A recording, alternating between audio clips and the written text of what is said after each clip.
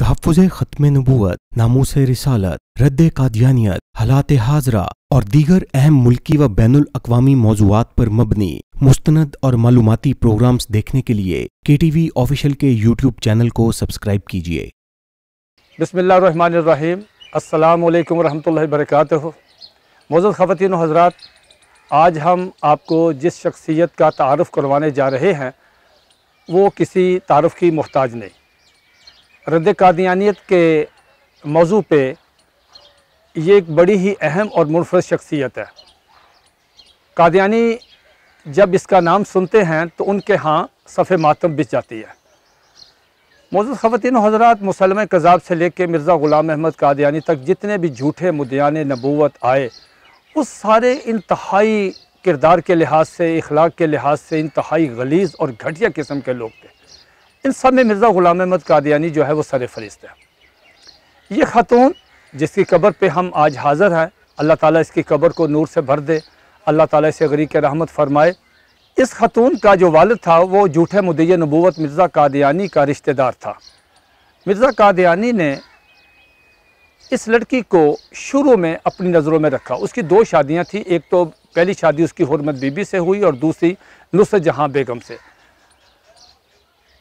इस मिर्ज़ा कादियानी जो था, ये मोहम्मदी बेगम का जो वालद था, उसका रिश्तेदार था। उसका नाम था मिर्ज़ा अहमद बेग। मिर्ज़ा अहमद बेग जो था इसने कुछ ज़मीन अपने को फ़रोख्त करनी थी, को हिबा करनी थी, उस सिलसिले में इसने कागजात तैयार करवाए। कानूनी तौर पे उस का, उन कागजात पे मिर्ज़ा ग़ुलाम अहमद कादियानी के साइन होना ज़रूरी थे। मिर्ज़ा ग़ुलाम अहमद कादियानी के पास जब वो सारे कागजात मुकम्मल करवा के मिर्ज़ा अहमद बेग आया और कहा कि इस पर आप साइन कर दें, ये कानूनी ज़रूरत है और इसके नतीजे में मेरी ज़मीन फ़रोख्त होनी है। इस पर मिर्ज़ा ग़ुलाम अहमद कादियानी ने उसे मैसेज दिया, कहा कि मैं नौज़ बिल्ला अल्लाह ताला से मशवरा करके फिर आपको बताऊँगा। मिर्ज़ा अहमद बेग समझा, शायद ये कोई इस्तारा की बात कर रहा है। तीन चार दिन के बाद मिर्ज़ा अहमद बेग ने दोबारा उससे रबता किया तो उसने कहा कि मुझे अल्लाह ताला ने कहा कि जब तक मिर्ज़ा अहमद बेग तुम्हारी शादी मिर्ज़ा अहमद बेग जब तक तुम्हें अपनी बेटी का रिश्ता, बड़ी बेटी का रिश्ता मोहम्मदी बेगम का नहीं करता, तुम्हारे साथ रिश्ता तय नहीं करता, उस वक़्त तक तुमने कागजात पे साइन नहीं करने। मिर्ज़ा अहमद बेग ने जब बात सुनी तो वो परेशानी और हैरानी का मुजस्मा बन गया। वो बड़ा ही हैरान परेशान हुआ कि रिश्ते इस तरह मांगे जाते हैं, चुनाचे वो मायूस होकर चला गया। बाद में मिर्ज़ा ग़ुलाम अहमद कादियानी उसकी मोहब्बत में बुरी तरह गिरफ़्तार हो गया।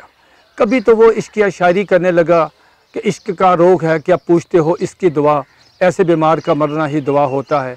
कभी वो मोहम्मदी बेगम को ख्वाब में देखता और कभी वो मोहम्मदी बेगम के बारे में अजीब के तरह के इल्हामात पेश करता कि मुझे इस तरह के इल्हामात हुए चुनाचे मिर्ज़ा अहमद बेग ने अपनी बेटी मोहम्मदी बेगम की शादी। ये मिर्ज़ा सुल्तान अहमद मेरे पीछे उनकी कब्र है। ये मिर्ज़ा सुल्तान अहमद इनके मियाँ हैं। तो इनके साथ तय कर दी, ये कसूर, नज़दीक ही कसूर लाहौर के करीब पट्टी वाला तो ये मशहूर थे। ये पट्टी के रहने वाले थे। जब मिर्ज़ा कादियानी को पता चला कि ये पट्टी वाला जो मिर्ज़ा सुल्तान अहमद है, मोहम्मदी बेगम की शादी उससे तय होने वाली है तो मिर्ज़ा कादियानी ने कहा कि मुझे अल्लाह ने इल्हाम भेजा है कि पट्टी पुट्टी गई। अच्छा इस तरह की बकवास करता रहा। इसने उनके ख़ानदान को बड़ा लालच दिया, बड़ा तरगीबात की, बहुत ज़्यादा थ्रेट किया पेश गोइयाँ की। एक पेश गोई की कहा कि अल्लाह ने मेरी शादी उसके साथ आसमानों पे कर दी है। अब ये चाहे बेवा हो के आए, चाहे कंवारी हो के आए, ये मेरे साथ इसकी शादी होगी।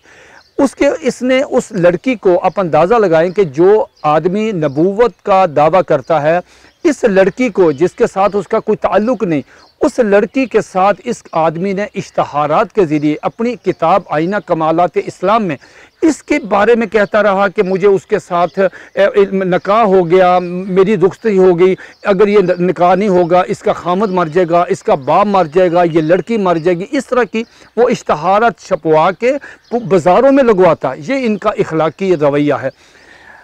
सीरत महदी जो पहली जिल्द हुक्म वापस ले ली थी, उसमें एक रवायत है उसमें लिखा है कि मिर्ज़ा कादियानी मोहम्मदी बेगम के इश्क में इस तरह मुबतला हुआ कि वो एक नौकरानी के ज़रिए मोहम्मदी बेगम की हैज़ वाली शलवार मंगवाते, मंगवाता और फिर उसको चूमता, सूंघता, उसको आँखों को लगाता और सर पे बांधता, तब जाके उसको सुकून पहुँचता। ये सीरत मादी की रवायत है, जो पहली जिल्द जो हुक्म बाद में वापस ले ली गई थी।